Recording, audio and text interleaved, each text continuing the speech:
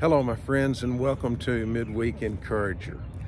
Uh, if you've got your Bible with you this morning, I hope you open to Isaiah chapter 61. We're going to read three verses there in just a moment. But I want to thank you for joining today. It's uh, it's a pleasure to host you. It's a beautiful day here in Memphis, and looking forward to sharing with you from God's Word. Uh, the uh, June Hope is a women's teacher, uh, speaker from Texas, and she she gave the basic outline for today's uh, for today's devotional, and I thought it was very very good for us. In Isaiah chapter 61, verses 1 through 3, follow along with me in your copy of God's Word. The Spirit of the Lord is on me because the Lord has anointed me to bring good news to the poor. He sent me to heal the brokenhearted, to proclaim liberty to the captives and freedom to the prisoners, to proclaim the year of the Lord's favor, the day of our God's vengeance, to comfort all who mourn, to provide all who mourn in Zion uh, to give them a crown of beauty instead of ashes, festive oil instead of mourning, and splendid clothes instead of despair. They shall be called righteous trees who have been planted by God to glorify Him. Now you remember that that Jesus went into the uh, tabernacle one uh, one Saturday morning because they were they were following the Jewish law. And he read these verses and he he proclaimed to the folks there in the synagogue that morning, today these verses are fulfilled in your ears. Well, let's let's talk a little bit about what these verses actually mean. This uh, uh, Isaiah chapter 61 is a poem that God gave Isaiah to uh, to comfort uh, to comfort the people of Israel and to to really appreciate the power of this poem. It helps to remember a little bit of the general outline of the history of the Israelites.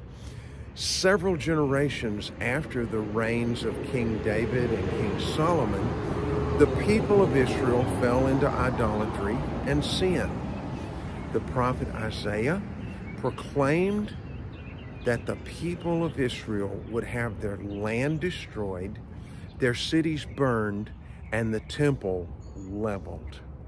Wow, pretty, pretty harsh judgment coming from the mouth of God's man proclaiming and predicting God's judgment on the Jews. But, and soon enough, the Babylonian armies arrived on Jerusalem's doorstep, prepared to destroy the city, enslave its people, and exile them to foreign cities. Now, Isaiah is a fascinating book, and some people think that the, the most important thing and the most uh, the uh, remarkable thing about Isaiah was the amazingly accurate predictions that God gave Isaiah well, those are great. Those are great because when God gives a prophecy, when God gives a prediction, you know it's going to be right because He is God. He's the one who thought it up, He's the one who's going to bring it to pass. But maybe the most remarkable thing about the book of Isaiah is that Isaiah, even knowing the sufferings that were coming on his people, the hardships, the despairs that were about to descend on Israel. Isaiah's prophecy is still a prophecy of hope, a prophecy of encouragement to trust God, to seek God, to recognize that God's working. Now, the people of Israel were facing a dire future, one totally without joy. And without a doubt, the great suffering was on its way, and yet Isaiah still trusted God to bring hope and heal pains. The prophet boldly and truly proclaimed that God seeks to comfort those who mourn. Isaiah didn't deny that the coming trial would be extreme, but even more extreme than the trials would be the comforts and the joys that God would bring after the suffering. Wow, what a God we serve. As the passage turns from grief to joy, from sorrow to hope, it reminds us of the, the complicated wealth of emotions that we feel when we lose a loved one. Now, some of you have lost a loved one this past week. Some of you, it may have been 40 years since that loved one died. We miss those folks. We miss them because we love them. And they were an integral part of our life. And so it's normal and natural for us in our humanity to miss people when they die and go on to, to Jesus. But we're also grateful for the treasured time that we had with them. However long, however short, we treasure that time. You know, when when sorrow and joy meet together and they meld together, there's a striking beauty that God gives us, that God allows us to see. So today, if you're grieving over the loss of a loved one, regardless how soon, regardless how long, don't bottle up the grief that you feel nor do you bottle up the joy that you feel and the gratitude that you feel by remembering the life of your loved one. We're happy that they've gone on to be with Jesus. We're happy that they're no longer suffering, but we're saddened by their loss. That's okay. That's part of being a human being. But don't bottle up the grief express it to God.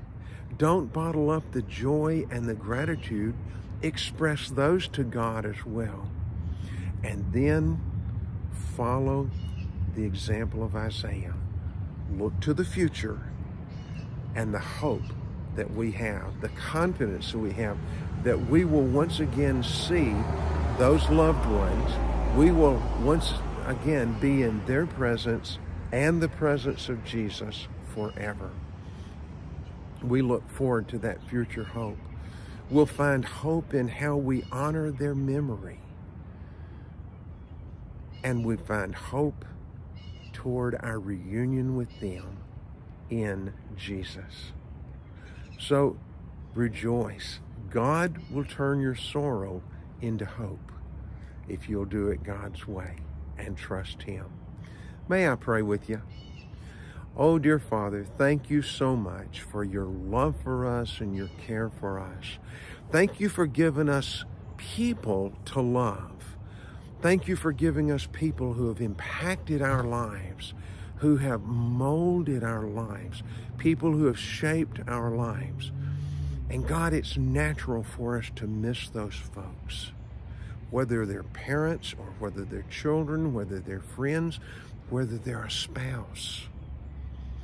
But God, don't let us be so sad that the sorrow just eats us alive.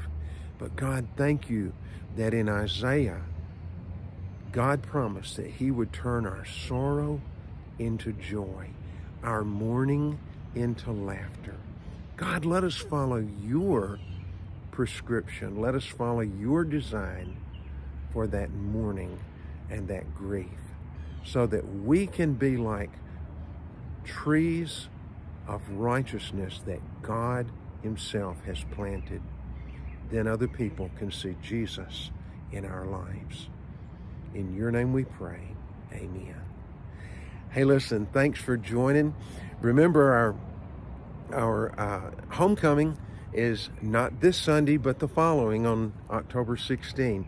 If you've not met, uh, not yet made your reservations for lunch, I hope you'll call the church office today. And we look forward to seeing you in person in church this week. I love you. Thank you for the privilege of being your pastor.